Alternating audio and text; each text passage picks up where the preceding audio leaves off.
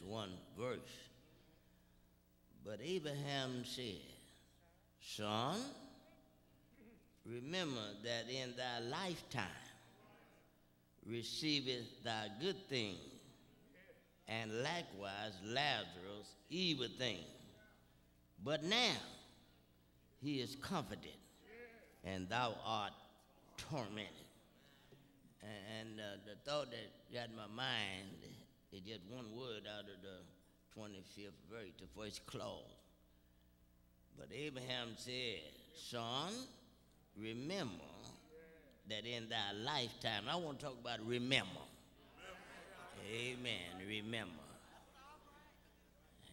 Remember. Now, we got to understand that Jesus is the speaker of this text. And uh, he's not just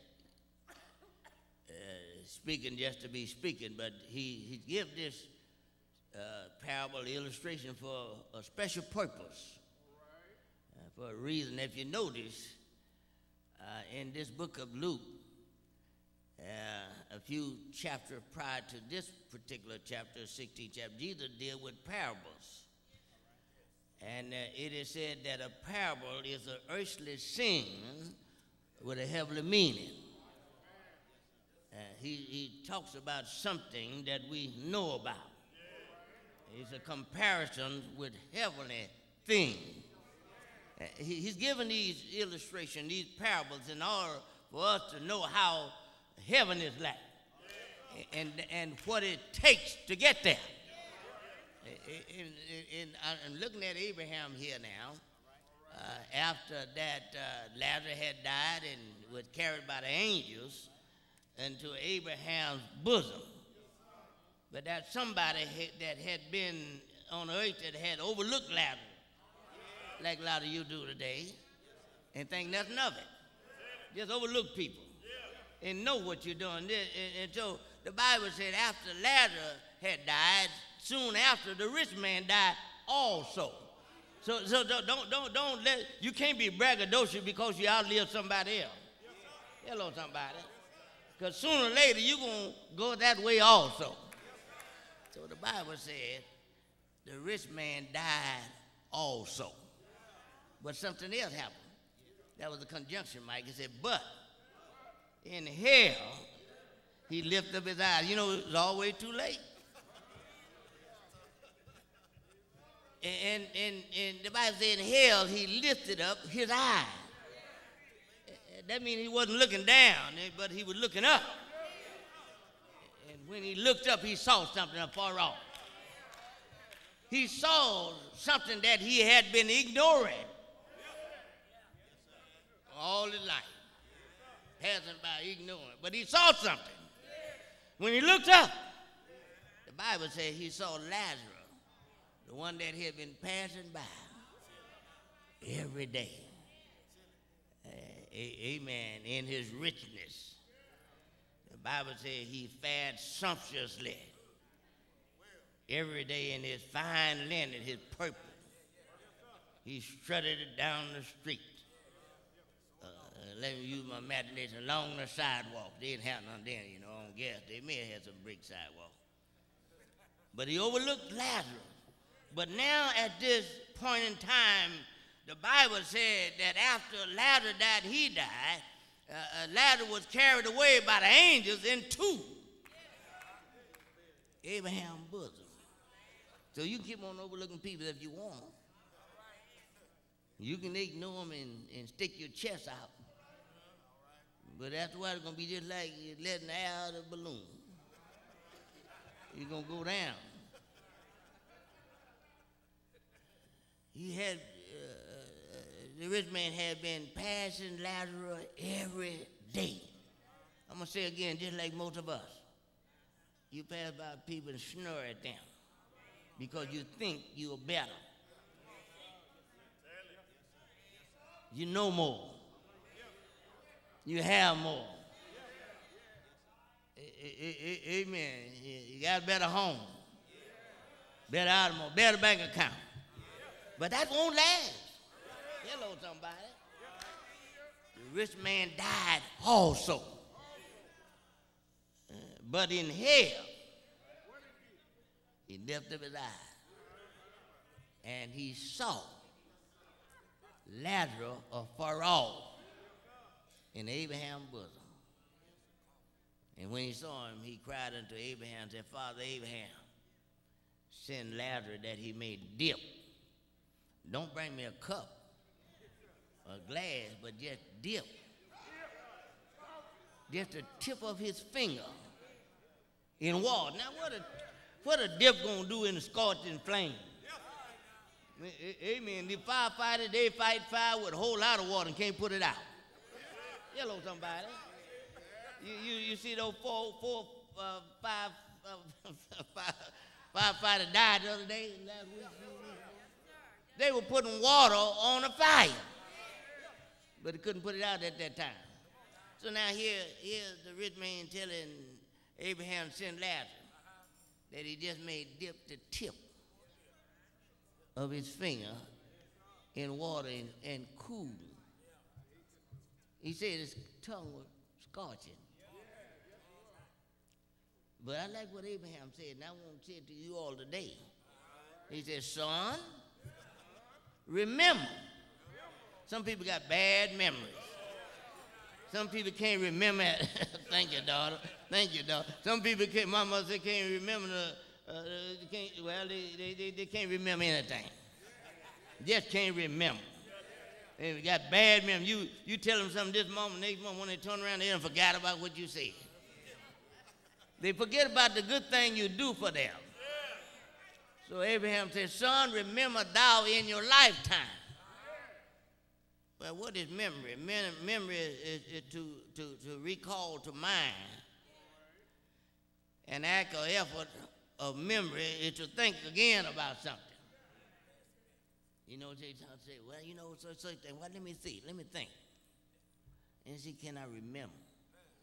You pulling back the files in your mind, flipping pages in your mind, in your computer, the computer of your mind, trying to tap into your memory. Uh, amen. Trying to get the code to bring back something that you once knew about. So Abraham said, Son, remember that in your life to think back.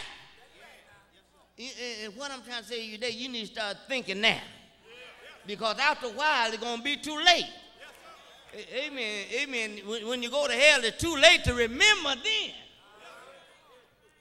Say, Father Abraham sent Lazarus that he might dip the tip of his finger in water and cool my scorching tongue.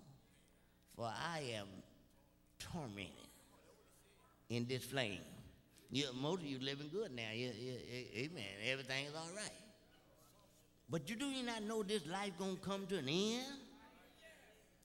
It, it, it, the Bible says one generation passes and another one coming. And you can see it all around you now. There's somebody leaving here as well as some, somebody coming here. And your name is on the road to leave here. You don't know when, where, how. And you need to start remembering, Lord, what have I done? Have I helped someone today as I travel a long life way? What have I done? Have I mistreated somebody along the way? Lord, what have I? You need to think about it now. You need, you, you need to think about it now. Don't wait till you, you, you think you're better than somebody else. Look at them crazy. You know you're looking at people crazy.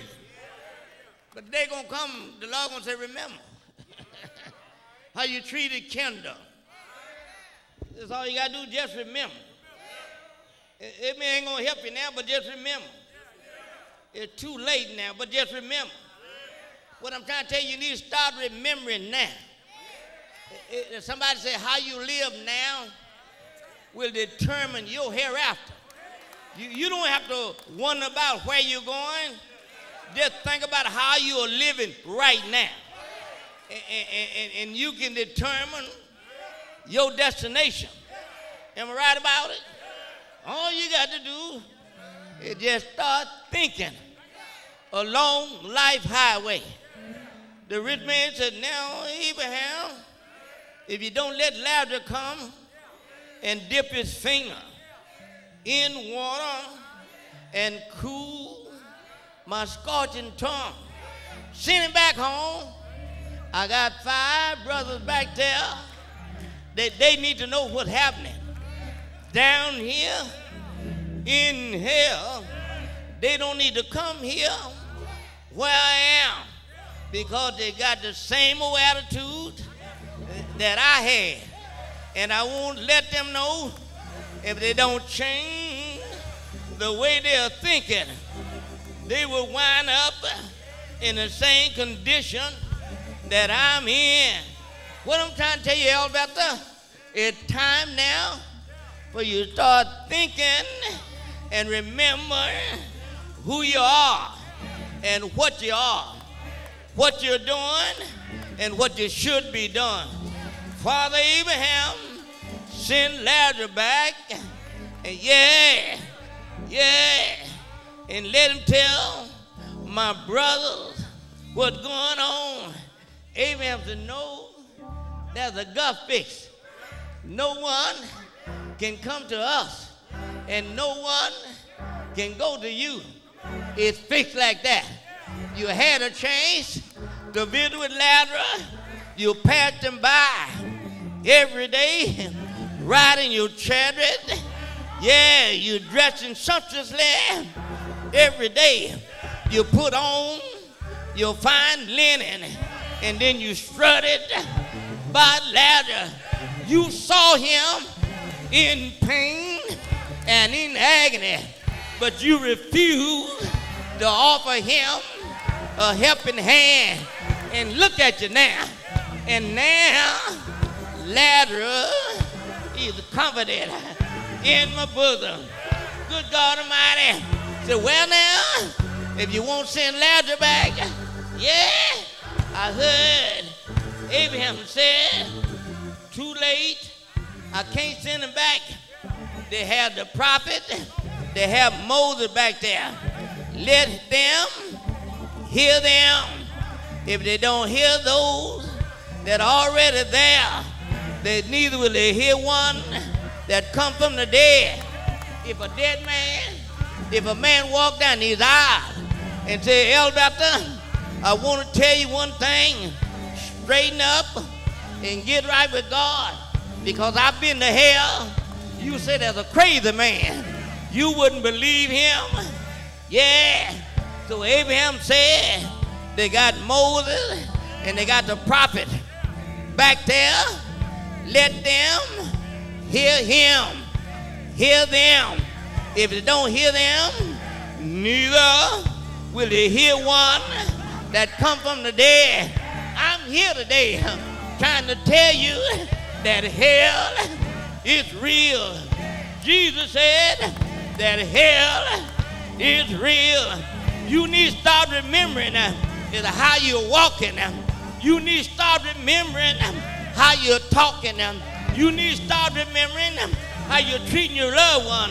You need to start remembering how you treat your friend. You need to start remembering how you're treating one another. Good God Almighty. Because how you live now will determine your hereafter. Good God Almighty. It will determine your destination. Go ahead with your head lifted high. Good God Almighty. God will bring that head down. I'm so glad, so glad I decided to make Jesus my sword. Road get rough, hill get high to climb, but I decided to make Jesus my sword. After a while, by and by, this old warfare will soon be over. I'm making preparation. Good God Almighty, I have a determination to see Jesus when I die. After a while, by and by, this old warfare will soon be over.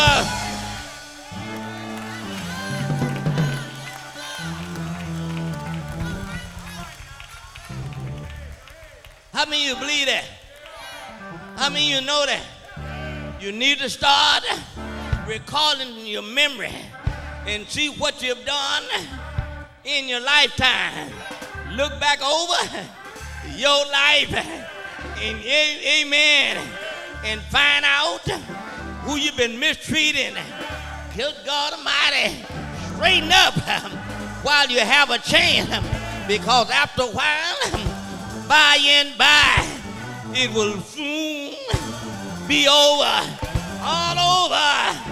After a while, by and by, I heard my mother say, I'm getting ready. Every day of my life, I'm packing up. I got my suitcase. I'm putting in uh, piece by piece. After a while, my suitcase uh, will be full. Yeah, I'm going home uh, to be with Jesus, to live forevermore.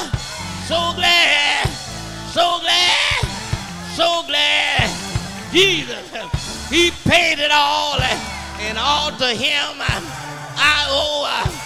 Paid the debt for your sin and for my sin on the hill that's called Calvary. Golgotha's hill. Good God Almighty, He paid the debt over 2,000 years ago. They called Him everything but a child of God. But He went on the God got to Golgotha's hill. He went on to Calvary and hung there. Yeah, he hung there. The Bible said from the sixth hour till the ninth hour. Somebody said that he never said a mumbling word because he had promised the Father, I'll go down and die for Kendall. I'll go down and die for Miles. I'll go down and die for Clarence. I'll go down and die for Truman. I'll go down for the sins of the world. Good God. Ain't he all right? I know he's all right. Ain't he all right? I know he's all right. He's a friend of mine. He walked with me. He talked with me. He tells me that I'm his own. So glad I know the man from Galilee. If you're in sin, God knows he'll set you free. Do you know him? Do you know him? Heard somebody say it. Don't fool me now. Oh, yeah? Do you know him? Is he a friend of yours? Good God Almighty. After a while, by and by,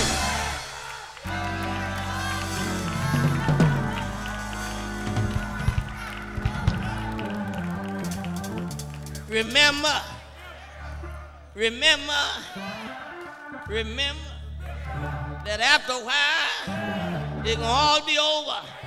Remember, I heard somebody say, you need to run while the sun is shining because the sun is gradually going down.